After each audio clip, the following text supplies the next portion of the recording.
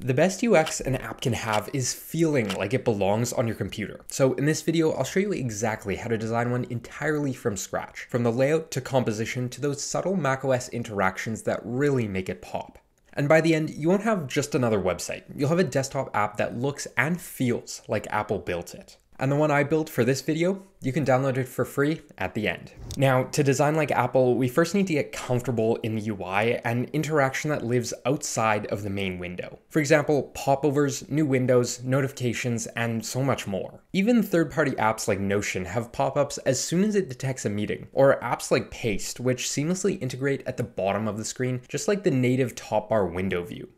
To feel native, the app shouldn't be a destination, but a system, exactly where you need it. Because of this, thinking about how the user will actually interact with a final product is super important. Spotlight Search isn't very accessible with anything other than command space and is draggable to anywhere you need it. Our integration will follow a design pattern very similar to that and Raycast, to appear when you need it and then immediately get out of the way. Our app will focus around saving design inspiration, and one of the biggest issues I find is you're doing other things when you find good inspiration. You're editing in Figma, then hopping over to code, and then jumping into Notion. So a keyboard shortcut like Command Shift S to open a window would be great. Just like widgets that slide in quietly from the side or the edit panel, our window should stay out of the way and as minimal as possible. So we can go ahead and toss the traffic lights and just add the basics of a drop area, a simple input, and some buttons. Finally, I'll add in some keyboard shortcut reminders to those, and kind of like how Paste has a native blur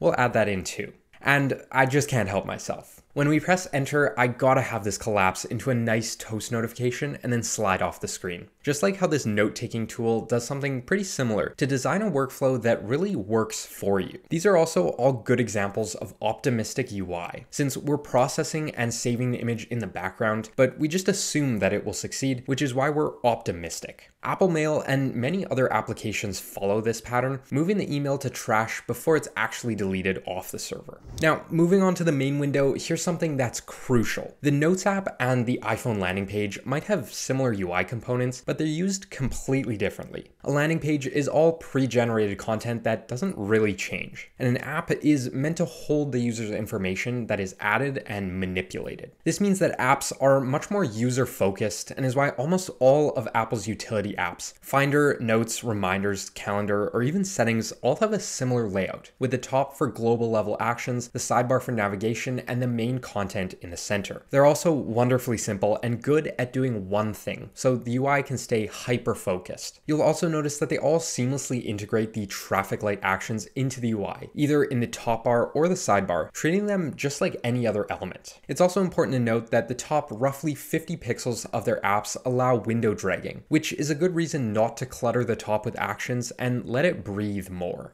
We're going to follow the same pattern, but since our navigation is super straightforward, really just browsing and searching, we can skip the sidebar entirely. That gives us extra room for large images since our UI is really just a container for the user's content. Doing this allows us to stay out of the way as much as possible. Now, speaking of staying out of the way, just like when you get a clear empty state when you have no notes, we'll have a simple empty state inviting the user to start saving inspiration. This is a form of progressive disclosure exposure, only showing the user what they need to see in that moment. All of the filters and other components are hidden because they simply aren't useful until the user starts saving inspiration. Another good example of this is when we do have images only showing all of the data when the user actually clicks on the image. So before adding colors or effects, ask yourself this, what is the minimum UI needed to really let that content shine? Now, at some point throughout designing this Mac app, I actually had to build it, which is why Matter by JetBrains has kindly agreed to sponsor today's video. Matter is an AI development companion that I used to prototype the UI for our actual app. So when I was designing the dashboard layout, once it was mocked up in Figma, instead of spending forever trying to code that sucker, I just added in my Figma link, described the functionality of Matter, and it built the whole preview in a live shareable format. Now, Matter is built for web applications, but the cool thing is the front end code it generates works perfectly in the framework I used to turn it into a native Mac app. So I was able to prototype the entire UI in Matter,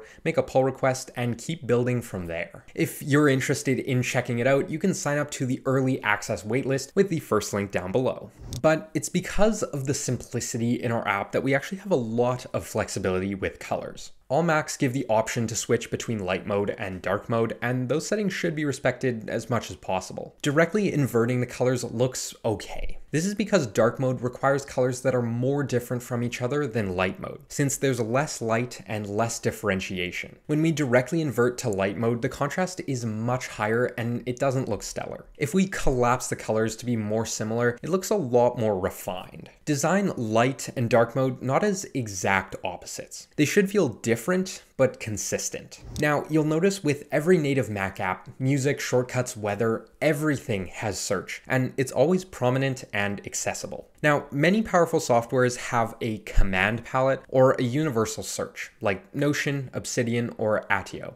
And that was a consideration for this search since it's sleek and an intuitive design. However, most of those menu items take you to an entirely new screen, and with the goal of remaining largely a one-screen application like most of Apple's utilities, I opted for a floating search bar and a slide-out preview instead. Using a bit of image recognition, we can search based on what's actually in the image instead of just by titles. We could search for mobile app with houses and a calendar and actually get relevant results. For image-based searching, I opted to put that into our sidebar slideout and show just a few relevant results for each image. Because of that, and since the browsing and search pages look quite similar, we'll add the search results count to the search bar and an X to clear, and then the search query to the top left along with an arrow to go back to browse. Now, macOS is obviously filled with a ton of keyboard shortcuts. Command space for Spotlight, Command Tab to switch apps, and Command W to close tabs. Just look at this list of shortcuts in reminders. The point is, they're important, but arguably just as important is the visual feedback from it. If you don't see a change, you assume that something went wrong. That's why micro animations, or at least a state change, are instrumental. Command Shift S slides out our quick save panel, Escape slides it away, and Enter transforms it into our toast notification. And the same is true about our main dashboard. We have our search bar down here at the bottom, but in an effort to stay out of the way until the user needs the tool, we'll collapse it down and clicking or triggering the shortcut beautifully expands it to full size so that every interaction has immediate feedback. But to make a user experience that truly feels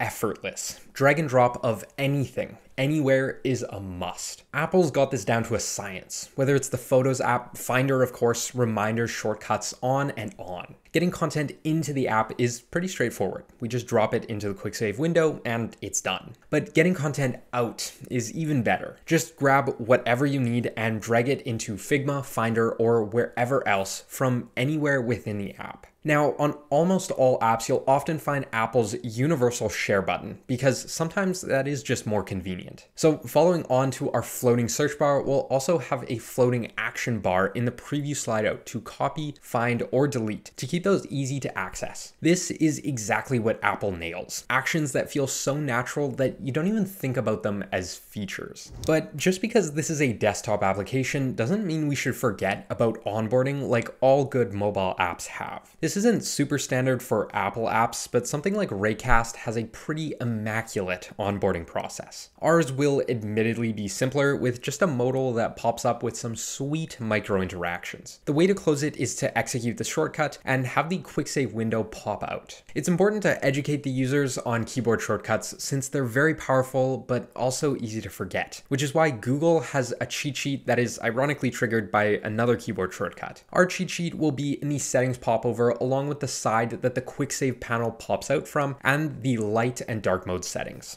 And that is everything you'll need to be able to design your very first macOS app UI from scratch. If you're interested in checking out Matter, it'll be the first link down below. And if you want to download the actual app we built in this video, that link will be down there too. Thank you so much for watching, and I'll see you in the next one.